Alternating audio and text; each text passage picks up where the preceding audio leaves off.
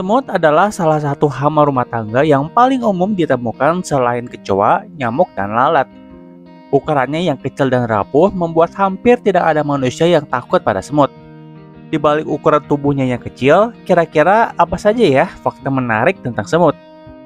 Berikut adalah 20 fakta menarik tentang semut yang pasti belum kamu tahu. Semut adalah serangga eusosial dari keluarga Formicidae yang jumlahnya sejauh ini diketahui terdapat 12.000 spesies.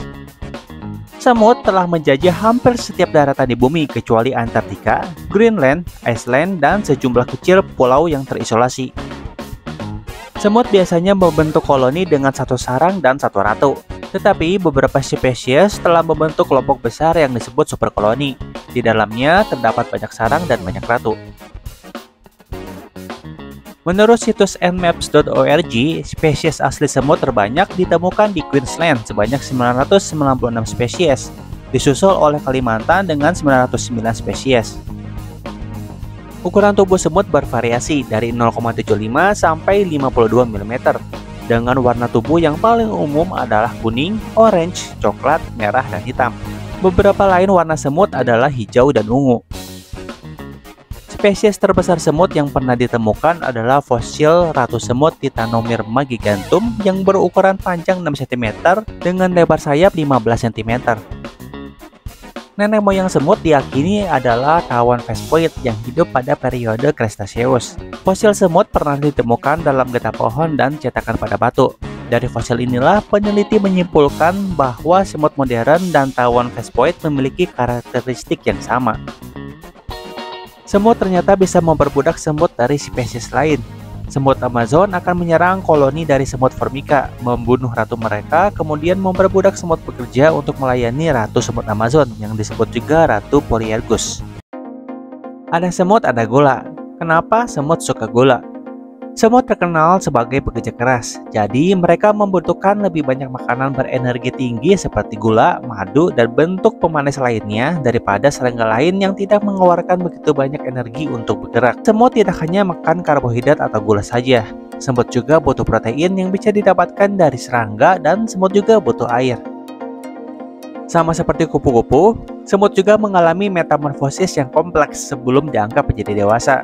Dari telur, larva, pupa, dan dewasa. Namun, pupa mereka tidak seperti kepompong, melainkan berkembang tanpa perlindungan apa pun. Semut biasanya dibagi menjadi tiga kasta, yaitu ratu, pejantan, dan pekerja. Secara individu, semut dapat menjadi sasaran parasit seperti nematoda, lalat porit, dan fungi atau jamur. Salah satu jamur yang menjadi parasit adalah jamur semut. Jamur semut mengambil alih sistem saraf dan otak semut, lalu otak akan rusak. Hal ini membuat semut bergerak tidak terkendali. Beberapa jam setelah semut mati, jamur ini akan berbuah dengan cara menembus tengkorak semut hingga suatu saat buah jamur ini akan pecah dan menembarkan spora. Jika di sekitar tempat itu ada semut atau serangga lainnya, maka siklus hidup yang sama akan kembali terulang. Semut tidak punya telinga, sehingga semut berkomunikasi satu sama lain dengan menggunakan feromon, getaran, dan sentuhan. Karena sebagian besar semut hidup di dalam tanah, mereka menggunakan permukaan tanah untuk meninggalkan jejak feromon yang mungkin akan diikuti oleh semut lain. Feromon sendiri adalah zat kimia yang dihasilkan dari tubuh semut yang berfungsi untuk merangsang atau menarik lawan jenis. Semut peluru memiliki sengatan serangga yang paling mematikan, meskipun biasanya tidak fatal untuk manusia. Sengatan ini diberi peringkat tertinggi pada indeks rasa sakit sengatan yang diciptakan oleh peneliti Justin Skimit. Kecuali di mangsa atau kamu injak, ratu semut bisa hidup selama 30 tahun. Semut diperkirakan mampu membawa 10-15 kali berat tubuhnya. Selain itu, penelitian menunjukkan bahwa leher semut sangat kuat sehingga dapat menopang 1000-5000 kali berat semut. Dalam halnya manusia, ini sama saja seperti leher dari seorang pria seberat 68 kg yang menopang berat 340.000 kg. Penasaran berapa jumlah semut di seluruh dunia? Diperkirakan ada sekitar 20 kuadriliun semut, atau dalam bentuk numerik 20 dengan 15 nol. Tahukah kamu ternyata semut punya dua perut? Semut menyimpan makanan untuk dirinya sendiri di satu perut, sedangkan perut lainnya untuk menampung makanan yang dibagi dengan semut lain. Apa yang terjadi jika semut punah?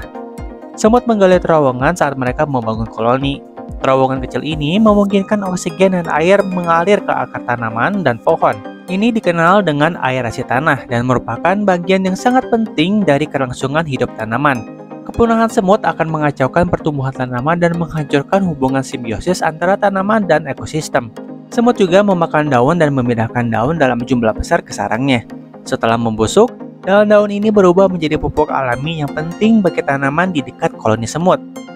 Demikian juga, semut membantu membusukkan hewan dan bangkai yang mati. Punahnya semut akan mengakibatkan berkurangnya pertumbuhan tanaman karena kekurangan unsur hara. Kemudian, jika semut punah, banyak serangga lain, burung, dan hewan yang menjadikan semut sebagai bahan makanan akan menderita, seperti terenggiling, babi tanah, sigung, burung pelatuk, laba-laba, dan lainnya. Semut digambarkan sebagai pekerja keras, tapi tahukah kamu sekitar 40% semut bekerja dalam satu koloni ternyata tidak melakukan apa-apa? Kira-kira kenapa ya? Jadi menurut sebuah penelitian, menyimpulkan bahwa semut pemalas ini berfungsi sebagai tenaga kerja pengganti. Dalam penelitiannya, ketika semut pekerja aktif dipisahkan, para semut pengangguran ini dengan sigap akan menggantikan para semut pekerja tersebut. Sedangkan ketika para semut yang tidak aktif ini diambil, tidak ada semut lain yang menggantikan posisi mereka. Seperti biasa, terima kasih sudah menonton video ini. Semoga bisa bermanfaat. Sampai jumpa di video selanjutnya. Saatnya tahu, saatnya kamu tahu.